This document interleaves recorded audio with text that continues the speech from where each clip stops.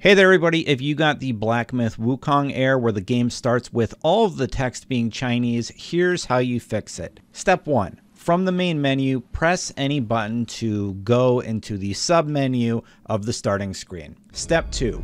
Pick the top option to start a new game or continue one you've started. Step 3. Once in game, get to a point where you can pause. Step 4 select the last option on this menu and select the first submenu option, then select the left option to return to the main menu. Step 5. From the main menu, select the second to last menu option. Step 6. From this submenu, pick the fifth menu option. It's the one with a small chat box icon. Step 7. Select the top drop down menu and pick English or your preferred language for text in the game.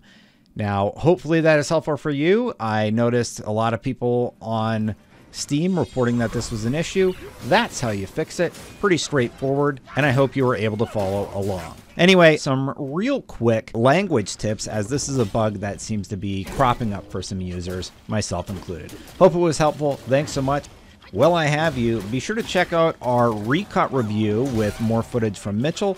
And for all things Black Myth Wukong, stay right here with IGN.